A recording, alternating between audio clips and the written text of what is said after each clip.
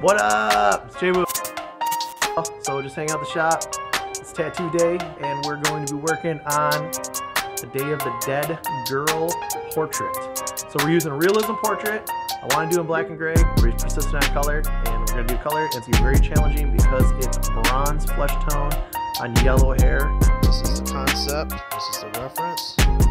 This is Lucie Donlan, Survivor show? It's. It's Love Island. Love Island.